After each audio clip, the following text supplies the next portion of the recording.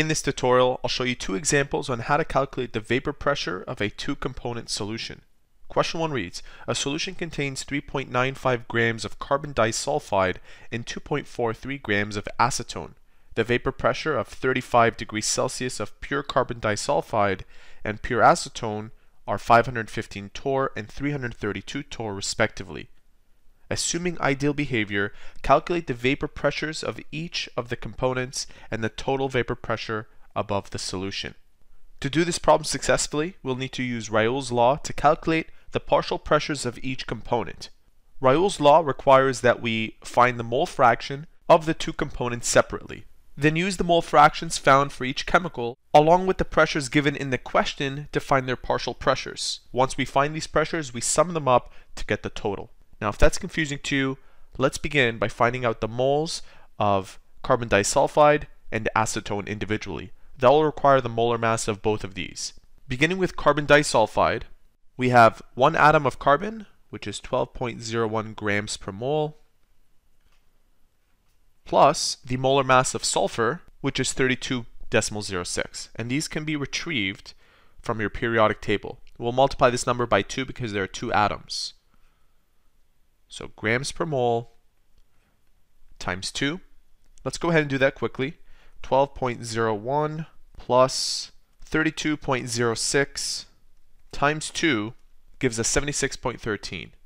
76.13 grams per mole. I'll flip this ratio where I have the moles at the top, and I'll indicate that with these arrows.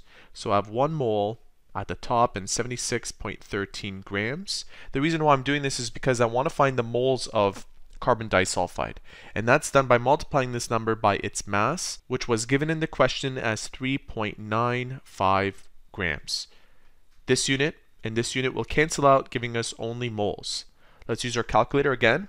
3.95 divided by the number that we just found, and we get 0.05188 and that's the amount of moles of carbon disulfide. We have to repeat this for acetone, and rather than showing you all the work, I'm going to fast forward and just give you the number of moles of acetone.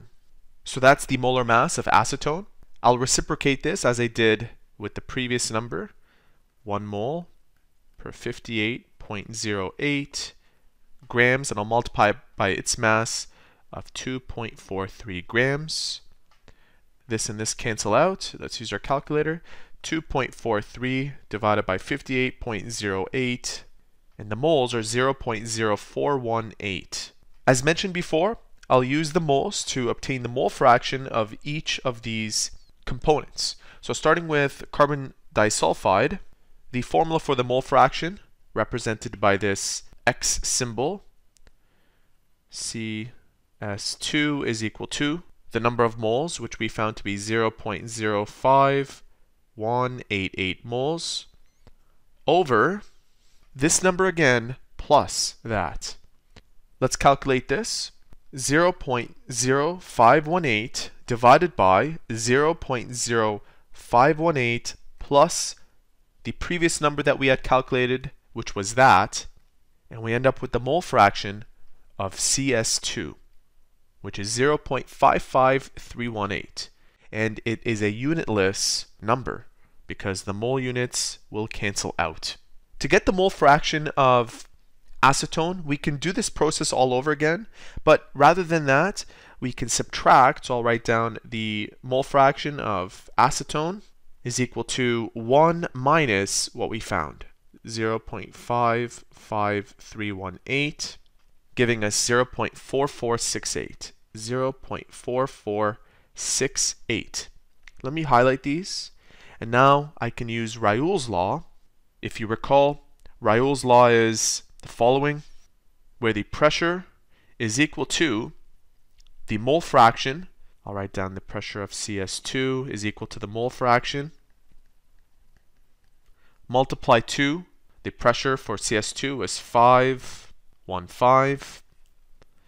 And I can find the partial pressure of acetone the same way, where I take 0.4468 and multiply it to a pressure of 332. And those are both in torr. Once we find these partial pressures, we add them up and we get the total. 0.55318 times 515, 284.88. Let's keep that in our calculator. So I'll write down plus to 0.4468 times 332 and we get a total pressure of 433.22. 433.22. Considering significant figures, we have 3, 3, 3, and 3, and over here is 2, but that's an exact number, so we don't care about it. We should stop writing after this 3, so these are discarded. Our final answer is 433 torr. That's the answer to question number one. If you'd like to see the solution to question number two, make sure you watch part two of this series, and we'll see you soon.